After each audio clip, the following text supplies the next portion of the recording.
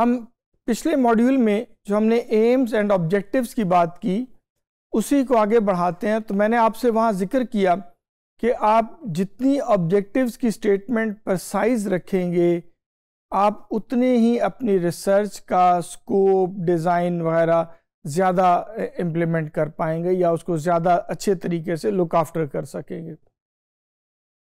अब सवाल ये है कि ऑब्जेक्टिव्स को अगर मुझे प्रसाइज करना है तो मुझे प्रैक्टिकली करना क्या होगा? ख़ास तौर पे राइटिंग ऑफ़ स्टेटमेंट के वक्त मुझे किस चीज़ पे तवज्जो करनी होगी? तो ये लफ्ज़ आपने पहले इससे बहुत दफ़ा सुना होगा कि जी ऑब्जेक्टिव्स को, की स्टेटमेंट्स को स्मार्ट होना चाहिए। हम इस लफ्ज़ स्मार्ट की वजाहत करेंगे कि ये किस चीज़ का एब्रीवेशन है और इसके हर स्टेप को एक्चुअली इस्तेमाल करना हो तो आपको राइटअप में किन चीज़ों का ध्यान रखना है। स्मार्ट में लफ्ज़ एस से मुराद स्पेसिफिक होना है।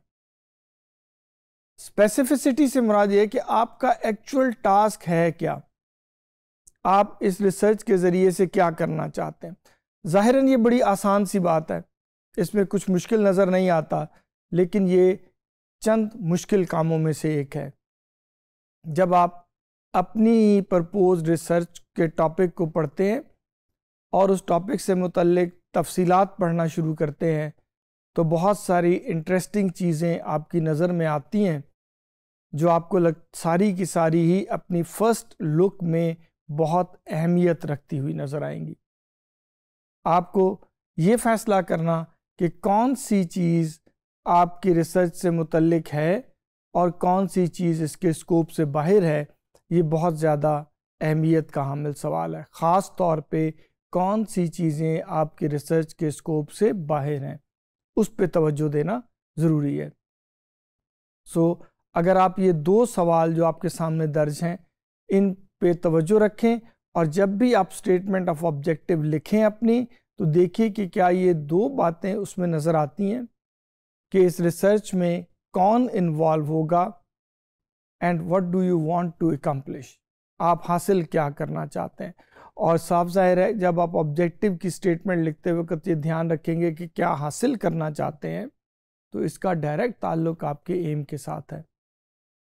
यहाँ तो सिर्फ़ हम उस एम में दी हुई चीज़ को एक्शनेबल वर्ड्स के साथ डुएबल चीज़ों में कन्वर्ट करना चाह रहे थे। सो ये दो इंपॉर्टेंट सवाल हो गए।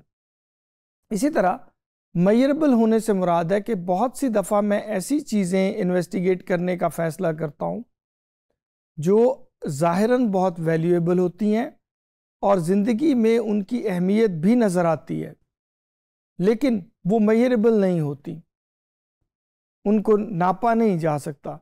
मिसाल के तौर पे जितनी भी मेटाफिज़िकल चीज़ें हैं, जिनकी अहमियत बहुत है, खुदा का तस्वर है कायनात का तस्वर है। इसमें मौजूद मुख्तलिफ़ और एब्स्ट्रैक्ट चीज़ों का तस्वरत हैं, जिनकी मेरी ज़िंदगी में बहुत अहमियत है, लेकिन इसके साथ साथ ज़रूरी बात यह है रिसर्च रिसर्चेबल होने के लिए कि वो मैयरेबल भी हों। यानी उनके अंदर उनकी हैत को देखा जा सकता हो, उनके अक्रेंस जो है वो रिकॉर्ड की जा सकती हो एम्पेरिकल फॉर्म में।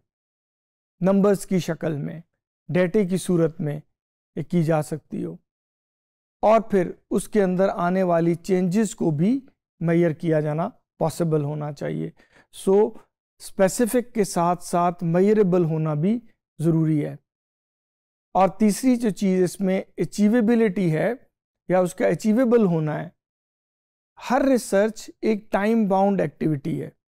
हर रिसर्च को करने के लिए एक मखसूस वक्त है और ख़ास तौर पे वो वाली रिसर्च जिसका हम इस कोर्स में ज़िक्र कर रहे हैं, यानी आपके बीएड के कोर्सेज में या किसी भी और एकेडमिक प्रोग्राम के कोर्स में जो आप रिसर्च करेंगे, इसको एक गिवन टाइम के अंदर ख़त्म करना ज़रूरी है। सो लिहाजा मुझे कोई ऐसा टास्क टेकअप नहीं करना चाहिए जो जिसकी ड्यूरेशन अनलिमिटेड हो। सो वो अचीवेबल ही ना हो मेरे लिए। चाहे वो बहुत ज़्यादा स्पेसिफिक हो मैयरेबल हो, लेकिन अचीवेबल नहीं होगा तो मेरे लिए उस रिसर्च को कैरी आउट करना जो है, वो मुश्किल हो जाएगा। सो तीसरी चीज़ जिसका आपने ध्यान रखना है कि वो फीजेबल भी हो, उसको अचीव किया जा सकता हो। और चौथी बात यह है, जो जिसका ताल्लुक रेलेवेंस के साथ है, या दूसरे लफ्ज़ों में रियलिस्टिक होना उसका कितना इंपॉर्टेंट होता है। ये भी रिसर्च का एक इंपॉर्टेंट फीचर है कि आप जिन ऑब्जेक्टिव्स को एड्रेस करना चाहते हैं, वो बेसिकली रेलेवेंट रेलेवेंट से मुराद relevant to the process of research and relevant outcome to the needs of the society does the objective accurately address the scope of the problem वो, वही बात पीछे चले जाएँ तो एम से जुड़ती है ना, कि आपने एम में इसका स्कोप तय किया था। क्या आपके ऑब्जेक्टिव उसी स्कोप के अंदर फॉल करते हैं?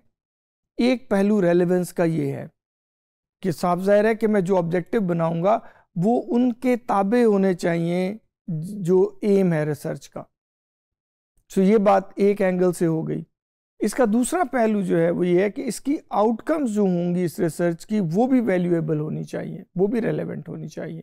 रेलेवेंट टू द सोसाइटी और इसका इम्कान इसलिए ऑटोमेटिकली ज़्यादा होता है कि जब आपने रिसर्च का तयन किया था तो ये बात अब तब फैसला कर चुके थे।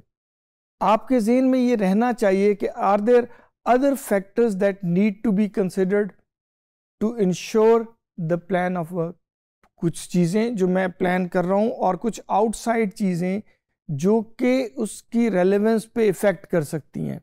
क्या मैंने उनको अकाउंट फॉर कर लिया है? सो so, जब आप इन चीज़ों का फैसला कर लेंगे तो ये रेलेवेंस के टर्म में आ जाता है। और आखिरी बात जो है वो टाइम स्पेसिफिसिटी है उसकी। आप जब भी रिसर्च डिज़ाइन करें उसके ऑब्जेक्टिव्स लिखें तो साथ ही उसकी टाइम लाइन का तयन कर दीजिए। टाइम फ्रेमवर्क बना दीजिए। टाइम फ्रेमवर्क रियलिस्टिक होना इस सेंस में ज़रूरी है कि वो ना तो आप उसके लिए बहुत कम वक्त रखें, जिसमें वो करना मुमकिन ना हो, और ना ही इतना एक्सटेंडेड टाइम रखें कि आपके गिवन टाइम ऑफ़ प्रोग्राम के अंदर से वो निकल जाए।